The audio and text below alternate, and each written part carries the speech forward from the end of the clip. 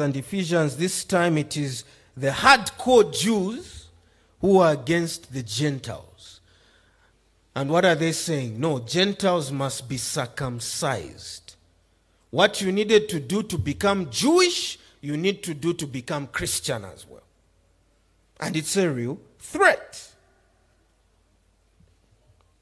And Paul insists that this should not be so. Ephesians 2:11. Therefore remember that at one time you Gentiles in the flesh called the uncircumcision, that was their name, outcast, the uncircumcision. You Gentiles in the flesh called the uncircumcision by what is called the circumcision, which is made in the flesh by hands. Remember that you were at that time separated from Christ, alienated from the commonwealth of Israel, and strangers to the covenants of promise, having no hope without God in the world. But now, in Christ Jesus, you who were once far off have been brought near by the blood of Christ. For he himself is our peace, who has made us both what? One. Unity. And has broken down in his flesh the dividing wall of hostility. Look at chapter 4, still Ephesians. Verse 1 I, therefore, a prisoner for the Lord, urge you to walk in a manner worthy of the calling to which you have been called, with all humility and gentleness. Why is he talking about these things? Humility, gentleness, patience, bearing with one another in love. Why is this language here? Be gentle with one another, be humble towards one another, be patient with one another, bear with one another in love. Eager, it's there in verse 3, to maintain the unity of the Spirit in the bond of peace. What's he addressing? Division. It was real. And then look at the language in verse 4. There is one body, one spirit, just as you were called to the one hope that belongs to your core. One Lord, one faith, one baptism, one God and Father of all. Why? One, one, one, one. Why? The threat of division. You are one. Quit fighting. Look at Philippians. If you don't know about division in Philippians, then you have really missed it. Paul is happy, he's joyful in Ephesians. There's only one thing that makes that fails to complete his joy. And guess what it is? Division. Chapter 2, the famous chapter we've all memorized. Let this mind that is in Christ be in you. Right? What is that all about? That is about the threat of division. Ephesians 4, verse 1 Therefore, my brothers, whom I love and long for, my joy and crown, stand firm, thus in the Lord, my beloved. Uh, sorry, verse, chapter 2, verse 2. Sorry. Complete my joy by being of the same mind, having the same love, being in full accord and of one mind. Why? Same, same, one, unity. And then when you get to chapter 4, which I ended up reading, you see the, the, he's now really hitting at the issue. Chapter 4, verse 2 I entreat Euodia and I entreat Syntyche to agree in the Lord. Let tell those guys to stop fighting. Verse 3, chapter 4. Yes, I ask you also, true companion, help these women who have labored side by side with me in the gospel, together with Clement and the rest of my fellow workers whose names are in the book of life. These are people I have worked with, and these are my co laborers, these ladies. They've come alongside me in the labor, and now they are fighting. The threat of division. It was real can hardly get through a New Testament epistle without the issue coming up. And thankfully for us at Hillview, have we had division? Give me your opinion after I come down and we're chatting. Thankfully, in my opinion, we've been fairly unified. We have moved together in one direction, but the threat of division is always there. It's always real. And in our passage, go back to First Corinthians. The division is taking place over what? Personalities. Some follow Paul, some follow Apollo, some follow Peter. The sources of division are uncountable in a church. Almost anything can bring division in a church. Almost anything. And we can never even know and anticipate what the cause of division will be. We can't see it coming because it can really be anything. So, how does Paul deal with this threat? By pointing to the foundation. Verse 11, 1 Corinthians 3. For no one can lay a foundation other than that which is laid, which is Jesus Christ. The right foundation for the church is Jesus Christ. If that is the foundation of the church, if that is what the church is all, all the church people in the church are looking at, focusing on, pursuing, they can get through anything. They can survive anything which brings the threat of division.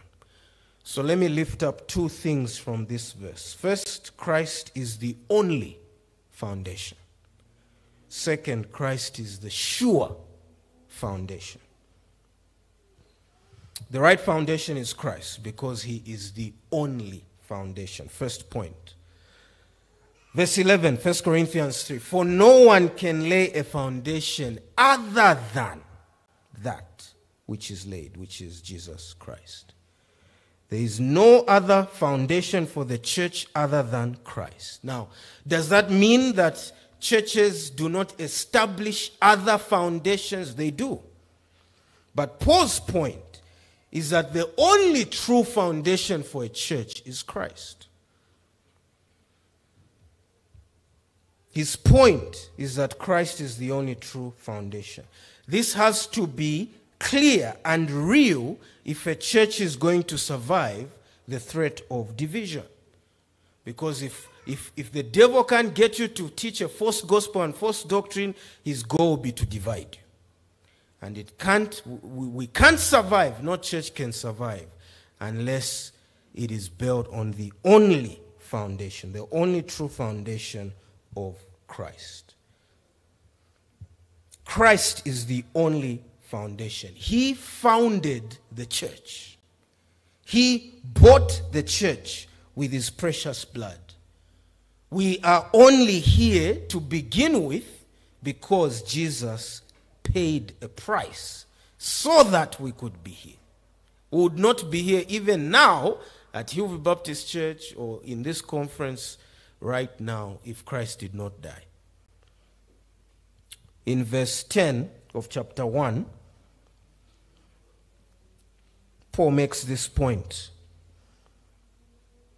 I appeal to you, brothers, by the name of our Lord Jesus Christ, that all of you what? Agree and that there be no divisions among you, but that you be united in the same mind and the same judgment.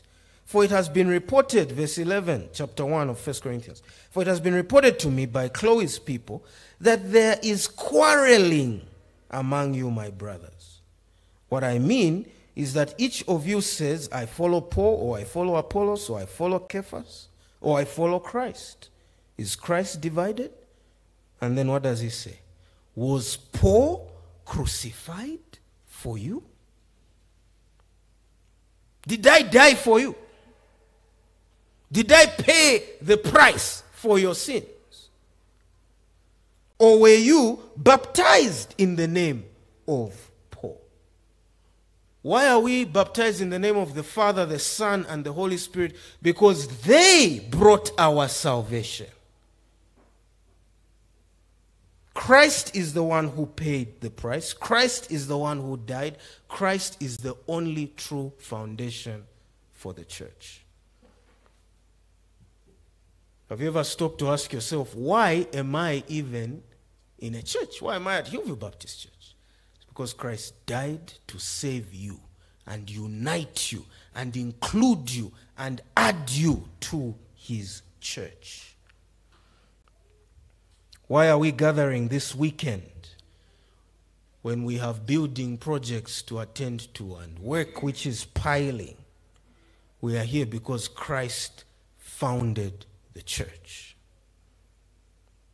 We are an assembly because Christ has assembled us. We are the called out ones because Christ has called us out of darkness into his marvelous light. That there would be colonies of believers covenanting together, seek him, seeking him and serving him together. That's why he went up on that cross to found and establish the church. That's why he was born, that's why he lived, that's why he died, that's why he rose to establish the church. And perhaps that is why in his prayer in John 17, again, what's his emphasis? About us. You remember when we looked at it in the series in John, unity. John 17, 9, I'm praying for them. I'm not praying for the world, but for those whom you have given me, for they are yours. Verse 11, I am no longer in the world, but they are in the world, and I am coming to you. I'm leaving them. Holy Father, keep them in your name, which you have given me, that they may be one, even as we are one. Why is he so bothered? I mean, we are saved, right? We, we are saved, we are heaven bound. Even if we split up in this church and we go our separate ways, will it take away our salvation? No. If all the colonies of believers, all the churches disbanded today, will, will, does it mean that they won't go to heaven? Those people in those churches, they will. So why is con- Christ concerned that they remain together? That's what he died for. He died to not just what you are saved there in your corner and you are heaven bound there with your family. Even you there with your girlfriend, you are saved and you are reading your Bible together in your bedroom or in your house. Oh, girlfriend and boyfriend can't be reading in the bedroom. Husband and wife are reading in the bedroom. Girlfriend and boyfriend are reading at the restaurant, at Nando's. So, why isn't that good enough for Christ? Why should he be praying to the Father before going to die on the cross? Father, let them be one. Let them be united. That's what he died for.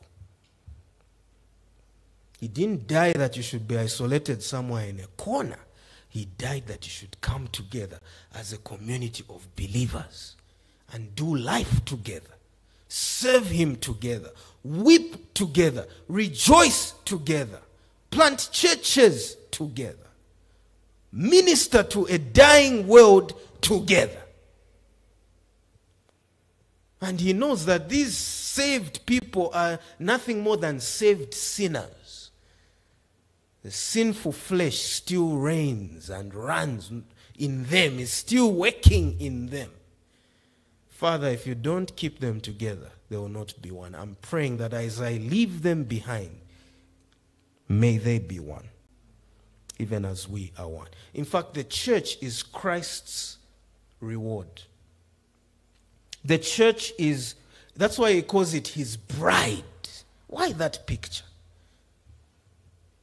You men know how you sweated to get your bride. When they hammered you with that bill, which you were wondering, where am I going to get the money to pay? And you sweated and sweated until you paid the money to get your prize. And you couldn't wait for the reception to be over. Amen, brothers. So that you can get the bride who you have been working for away and begin your life together. That's what you sweated for. That's Christ.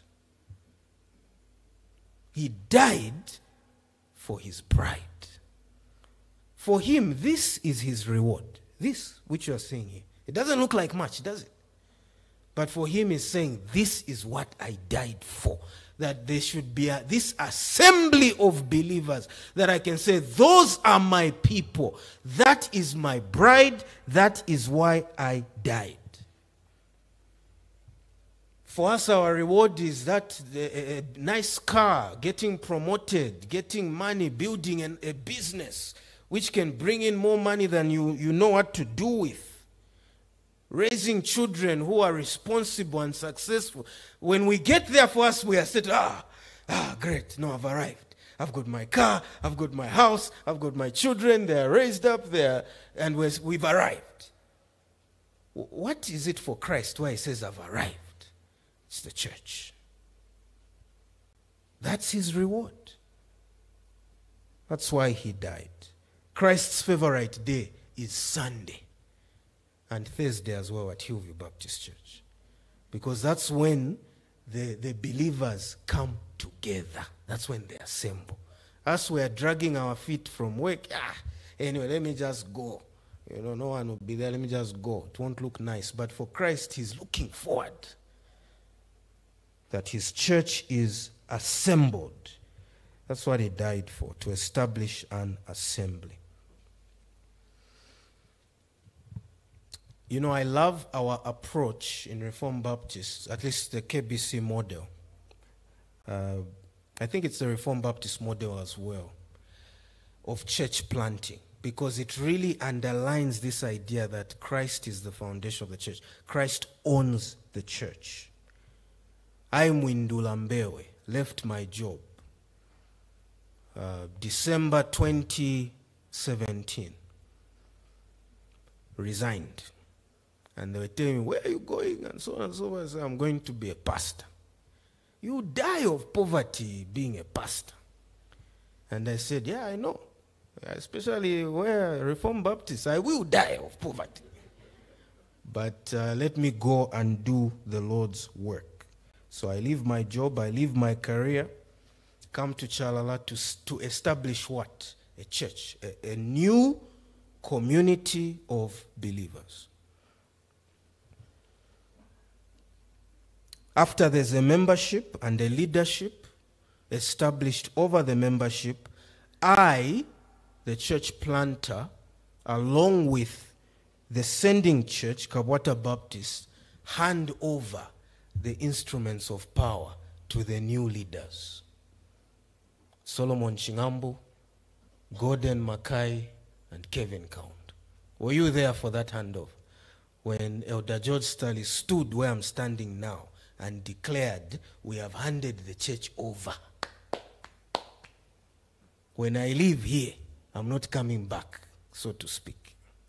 Because now here are the leaders, they will govern the church. Members, behold your leaders. Leaders, behold your members. If we're twaya. And in theory, they carry me with them. You've done your job. And now, you don't see me in front anymore moving things forward. It's the elders you see in front moving things forward, saying, We now need to decide.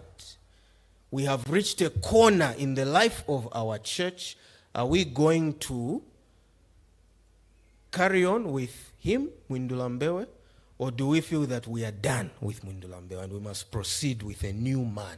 It's your decision now. And you have the power through your vote to say no.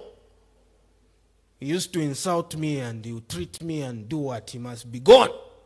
Let's look for somebody else. He did this part, let's look for somebody else. And if that's the decision of Hillview Baptist Church, I can't come and say, no, no, no, but I left my job. I resigned. Now you want me to go and start looking for work somewhere else. I can't do that. I must say, hey, they've made their decision that they need they're, they're, they're going to move forward without me even though i'm the one who left my job to come and establish this assembly of believers. You know what I call it? It's brutal, but it's beautiful. Brutal and beautiful. Because it, it sends the message. It is not Mwindula Mbewe's church. Doesn't matter that he, he came, he was sweating in the beginning or whatever, he left his job. Doesn't matter. It's not his church. He came, he sweated, he put things together, and the church can actually now say, this assembly of believers can actually say, thank you very much, you've worked, now go and find something else to do. It's beautiful in my eyes because it sends one clear message. The founder and foundation of the church is Jesus Christ. All of us are dispensable. Paul is dispensable. Apollos is dispensable. Mwindula Mbewe is, in, is dispensable. Only Christ is indispensable. It is not personal order to anyone. There is only one founder, there's only one who died, and it's personal to him. Am I the only one who's seeing beauty there? It's brutal, but it's beautiful. Some people think that uh, Hillview Baptist Church has grown quickly because of Voddie Baucham. How many of you have heard that? I've heard it. Yeah, no, you guys have grown. It's Voddie Baucham, Dr. Voddie Baucham, who you have there. That's why the people are coming there. It's true, we have a huge following online because of Dr. Voddie Baucham. Actually, media gets more excited when he's preaching than me.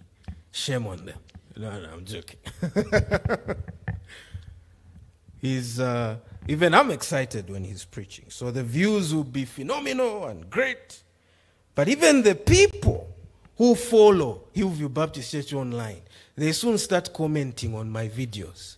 When is uh, Dr. Baucham going to preach again? Because this guy, we are seeing this guy every Sunday. We came here for Dr. Voddie. So they soon discover, oh, this thing is not built on Voddie Baucham. It's true that we get visitors at Hillview because Dr. Baucham is here, but if you ask anyone who actually comes to Hillview, they will tell you that the vast majority of those who come are not here for Voddie Baucham. And when they come, they're disappointed because they see me for eight weeks and they wonder, when is, why is he keeping the main man in the pew and keeping the pulpit to himself? It's because it's not founded on uh, Dr. Voddie Baucham. And to his credit, he anticipated this thing. I remember in the first year, 2019, when we had talked and we said, okay, what series can you do? And I wanted him to do the whole series in a row for about six months because there was an issue. I said, this is an issue that needs to be addressed in the church, so just preach it every. And he said, no, no, you are the pastor. Me just give me once, once a month at most. They need to hear from you. It's not founded on him either. And the growth we have seen is not because of him. Thank God. Otherwise, if we lose him, we lose everything.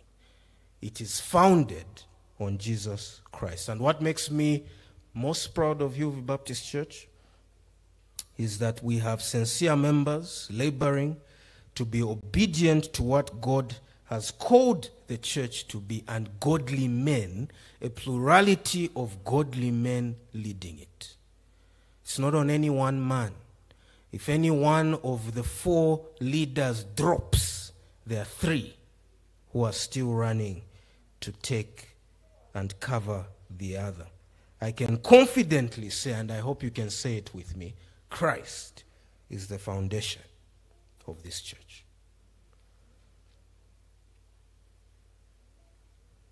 Secondly, the right foundation is Christ because he is the sure foundation. Paul says this in his response to those who are saying, I follow Paul, I follow Apollos, I follow Peter. He says, No, the foundation is, is Christ. And he knew that there is no hope for a church if it is not founded on Christ. It is not viable. The only way you can make a church successful that is not founded on Christ is two ways manipulation manipulating the people, tricking the people,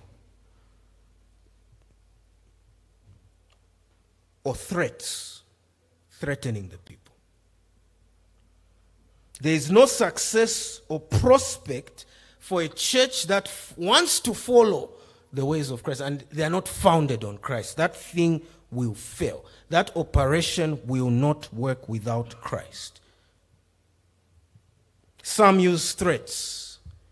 What do they do? They tie your burial, you're being buried to your tithe.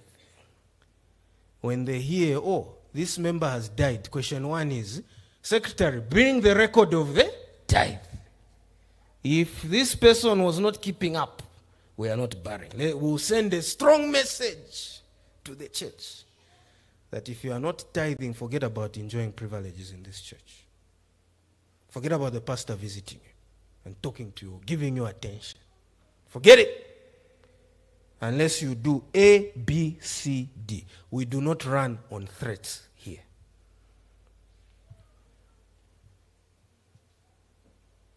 We let Christ reign in the hearts of our people.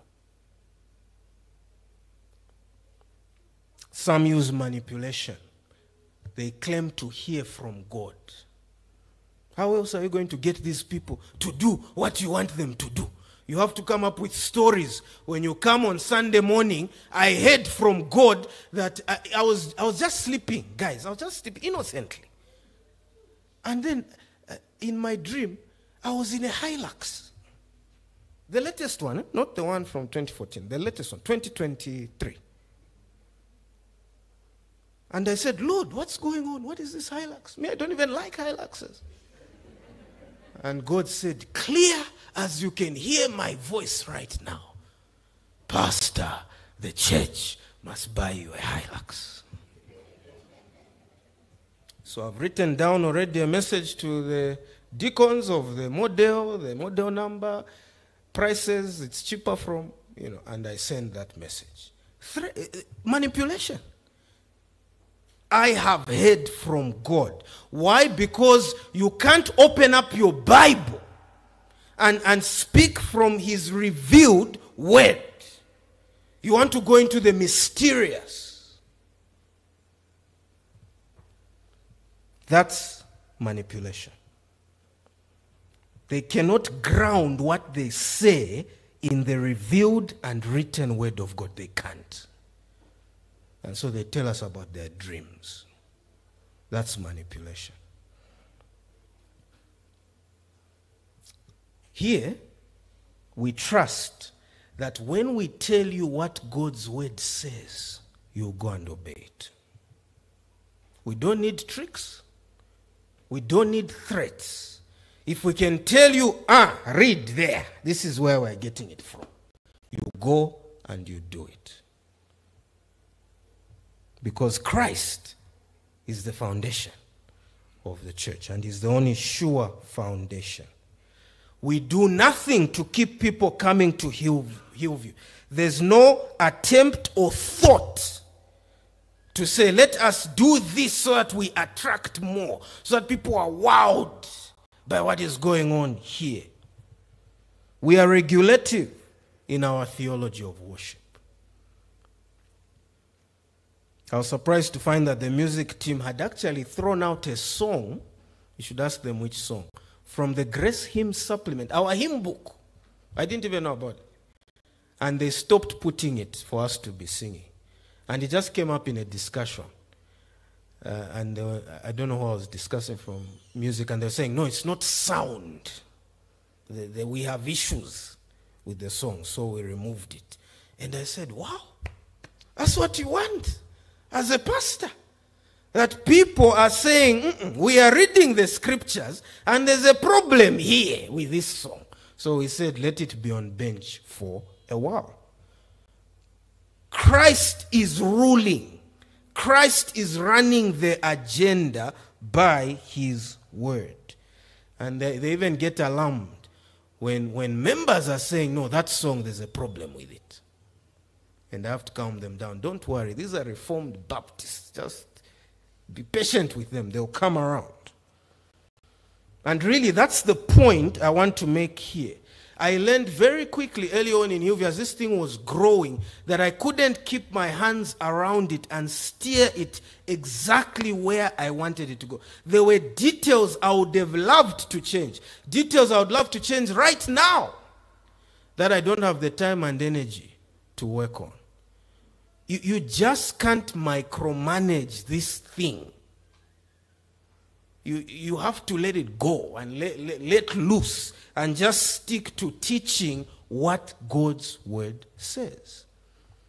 And there are times when people have come to you and say, Wow, I saw you, you do this, or you guys, I saw you do that. You are doing a great job as the pastor. And I have to shamefully admit, actually, I, I had nothing to do with that one. It was all them. I only discovered it the way you are discovering that that's what they did. Why? Christ is reigning. People are following the reign of Christ and following his word. They don't need someone to be telling them every day 10 here, now 10 here, now do this. No. Just give them the word and they'll follow the word in their pursuit of Christ. It's impossible to run a church without Christ being its foundation. I'm not in your homes. I'm not at your workplaces. I'm not in your marriages and friendships to make sure you are honoring God. And I can't be. We do not have a system of monitoring the tithes. We, we do, I, I cannot even tell if the elders tithe faithfully. Do you know that? I can't tell. Because there's no record where I, I'm not tracking anything. I'm sure they do, but I don't monitor those kinds of things. The elders are not detectives, spies with, with microscopes, tapping people's phones in the church, and they hear, oh, have you heard that one is doing this? And we form a, a, a committee of investigators, go check. We don't run things that way. Christ is ruling. He's ruling the hearts of his people. We don't need to be there, micromanage. He, where you? What are you doing? I heard. No. Christ is the foundation. And it works because he's a sure foundation. It works because if Christ is reigning in the hearts of the church members, half you 90% of your job is done as leaders. It's done. Don't need to be spying them.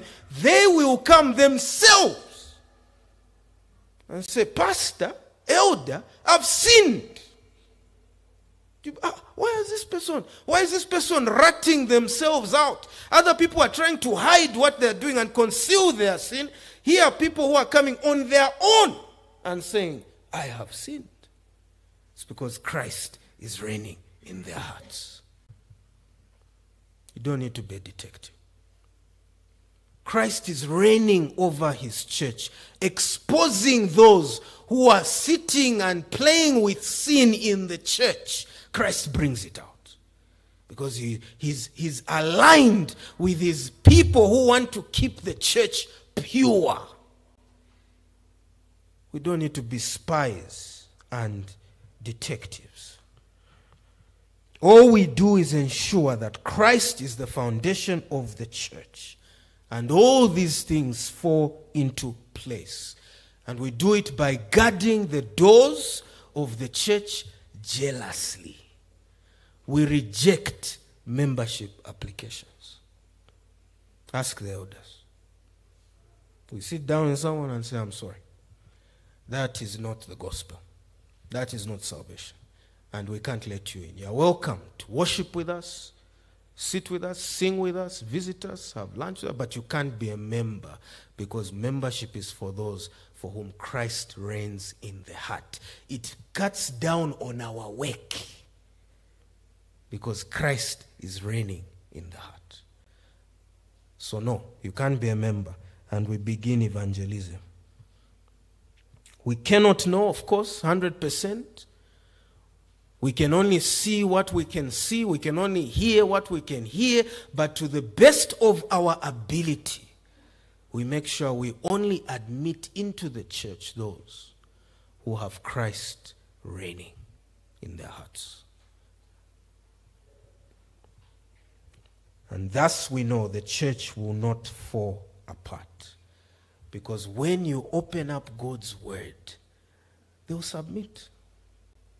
They may fight it at first, but you just leave them with the truth and you go.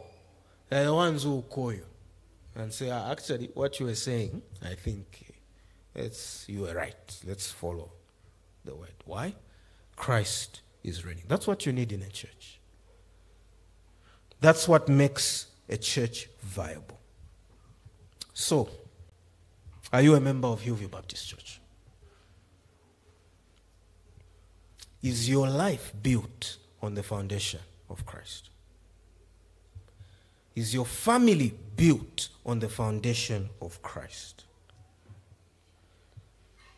Christ cannot reign in a church where he does not reign in the hearts of its members. Did you hear that? If Christ is not reigning in the hearts of the members, he's not going to reign in the church. The church will do their own thing because they are enthroned on the, on the throne of their lives, not Christ. There's nothing you can do about it. You have to resort to manipulation and tricks. If He is not the foundation of your life, then He has not yet worked on you. He has not changed you. And if He hasn't, He still can. He is the one who makes us what we need to be. The government is upon His shoulders.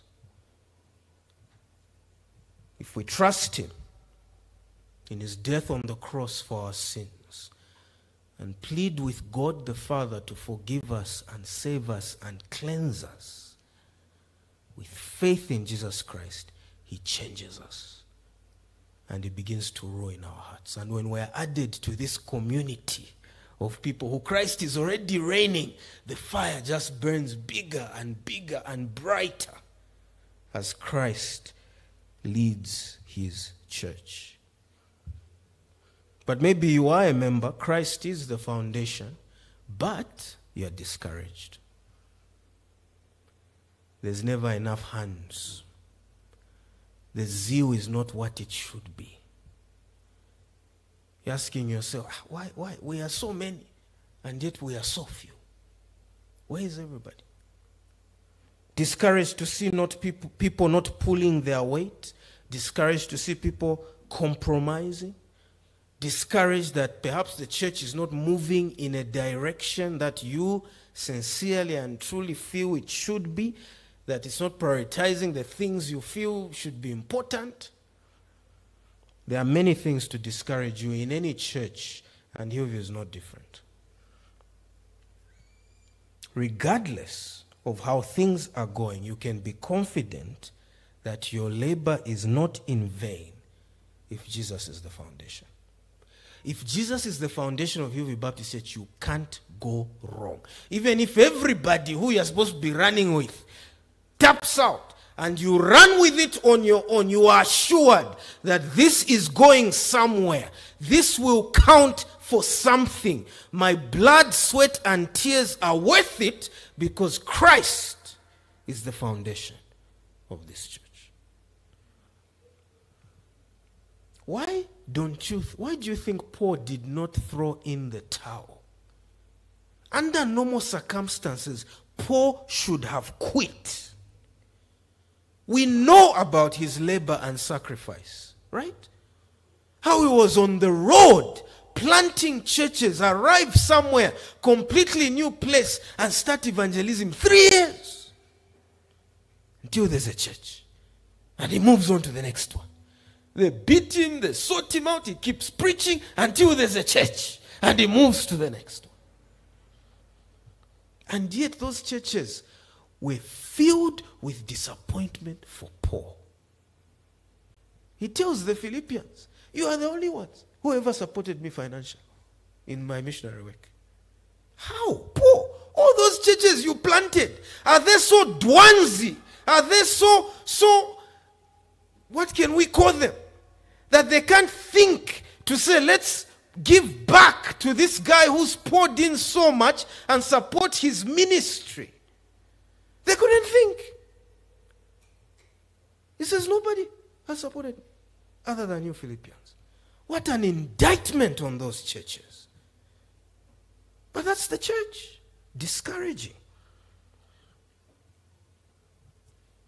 How was he never bitter? How was he able to keep going. In 2 Timothy, he talks about all the people who he had sent out. 2 Timothy chapter 4. You know what he's saying there?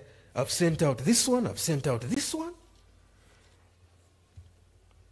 Showing that uh, Christ's prediction that the laborers are few will always be true. We'll never have enough laborers. Harvest will always be there, but the people to come and get that harvest, it's a challenge. He says in 2 Timothy chapter 4, I charge you in the presence of God and of Christ Jesus, who is to judge the living and the dead, and by his appearing and his kingdom. Preach the word, Timothy. Be ready in season and out of season. Reprove, rebuke, exhort with complete patience and teaching. For the time is coming when people will not endure sound teaching, but having itching ears, they will accumulate themselves teachers to suit their own passions. And they will turn away from listening to the truth and wander off into myths. As for you, always be sober minded. Endure what? Suffering. It's part of Christian work to suffer.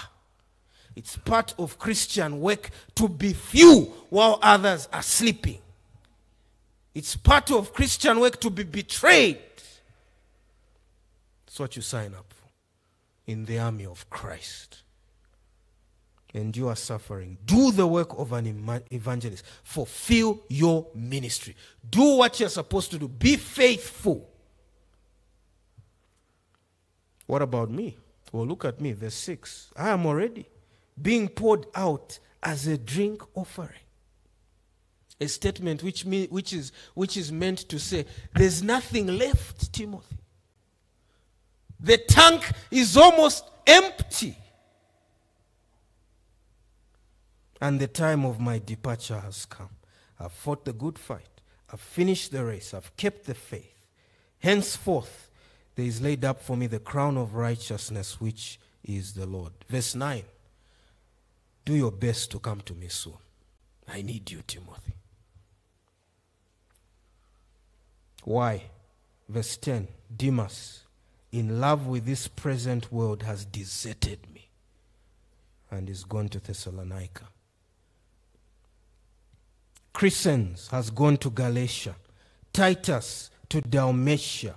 I've sent these guys out. I can't hold on to them. They have to go and work.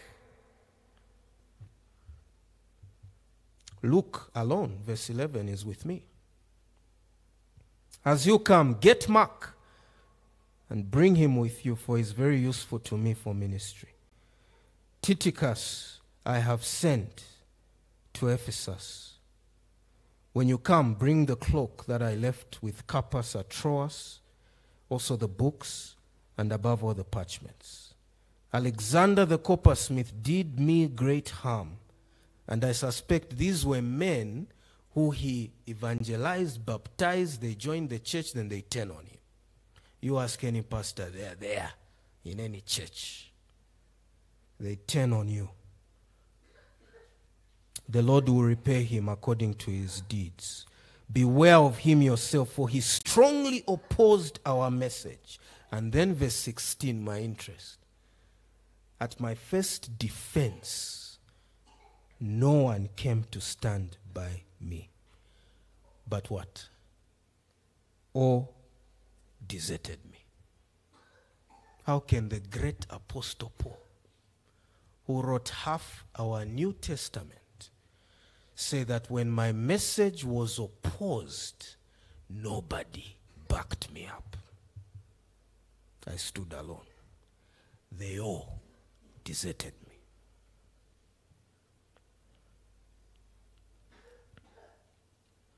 May it not be charged against them.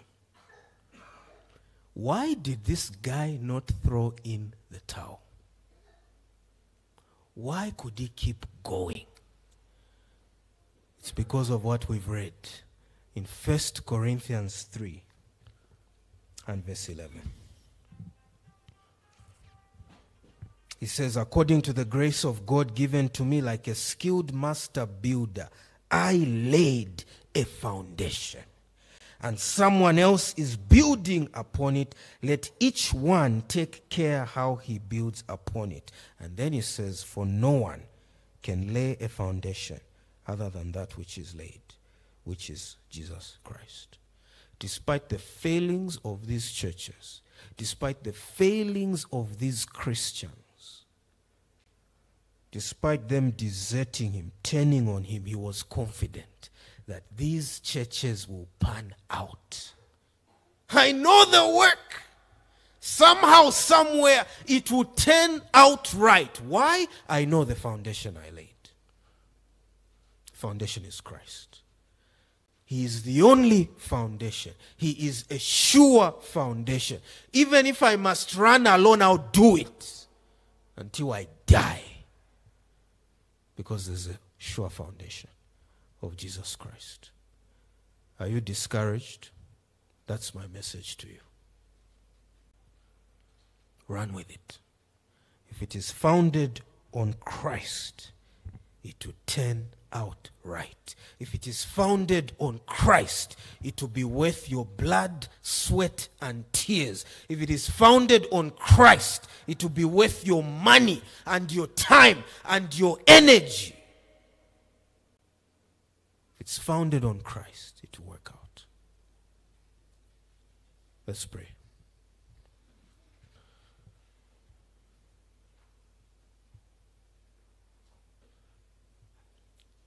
Oh, Father in heaven, we thank you for your word. And we are thankful that you are building your church.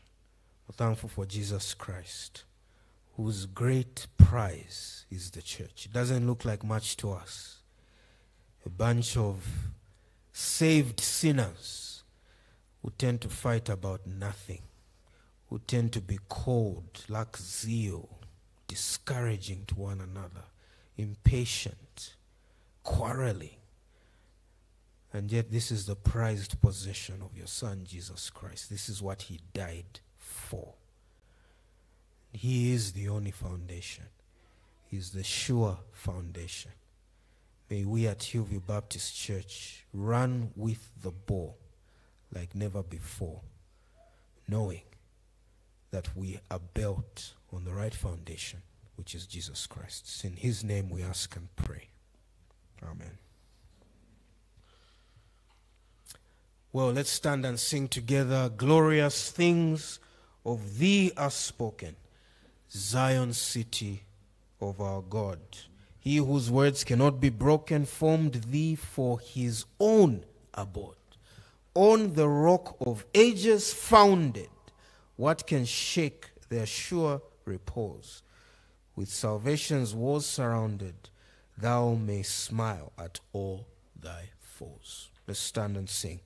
Then I'll ask, uh, I almost said Pastor Kanda, Mr. Kanda, to come and. Uh, give us closing remarks. Oh, we don't have it. It's not? Oh, it's the wrong song. Uh. Oh, how? Oh, no problem. I'm here. I will help. Uh, let's have the words. So it's glo- how many of us know it? Glorious things of thee are spoken, Zion city of our God. He whose word cannot be broken, formed before his own abode, on the rock of ages founded. What can shake the sure repose? With salvation's was surrounded, thou may smile at all their. All right, from the top. Should I lead? Okay. Glorious things of thee are spoken,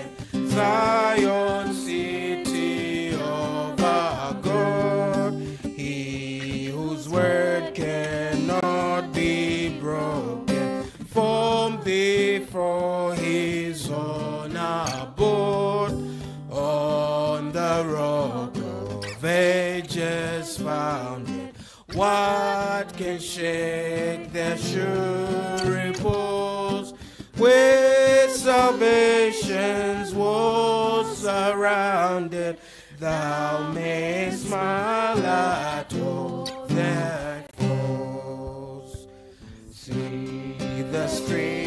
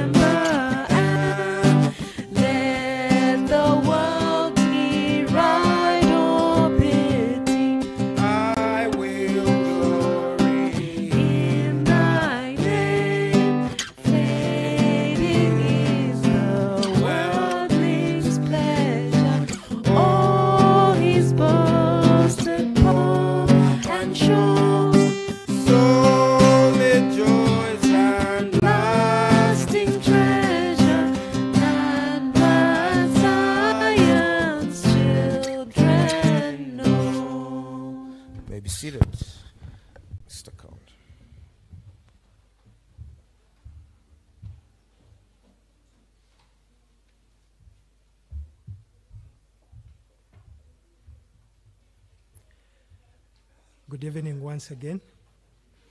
We are indeed thankful to the Lord for that rich feast, as it were, of the Word of God uh, on which we've been fed this uh, evening. And um, we trust that the Lord will continue ministering to us in the next few days um, in like manner that uh, when we come in this period of our celebrations that um, each one of us will go away amply and fully fed on the word of God. We are grateful for the ministry of God's word as has been delivered to us this um, evening. Um, today we were looking at uh, the right foundation, the church's right foundation. Tomorrow we'll be considering how the church grows and uh, uh, Elder George Staley from uh, Kabwata Baptist Church will bring God's word to us tomorrow. So, as we have been in prayer the past few days, let's continue to be in much prayer for the next few days that the Lord indeed will have his way amongst us as his servants uh, mount this pulpit to bring his word uh, to us. Um, the program tomorrow, I'm sure you may have uh, the program shared on the various platforms. Uh, those on men's breakfast um, group, I'm sure you've seen the program for this conference. And I trust that the ladies in like manner have also been uh, given or they've had the program shared so that we are all on the same page for each uh, single day. And uh, perhaps in addition to the singing, and the ministry of God's word tomorrow when we come, there will be a uh, short video show, uh, shared uh, with respect to the history of uh, uh, uh, Hillview Baptist Church, So it will be a very brief video show of some sort uh, for about five minutes.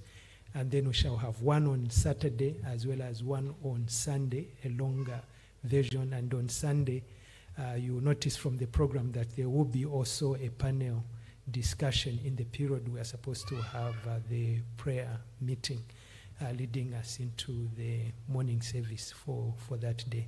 So perhaps this is just to whet your appetite and also to know exactly how the presentations uh, will be coming.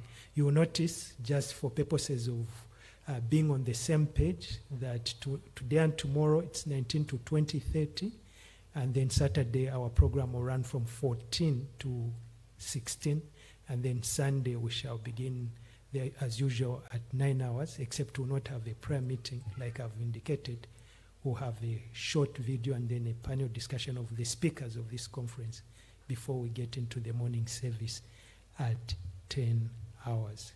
So I believe Pastor has prayed. Uh, so I'll ask that as you go out, remember to greet someone.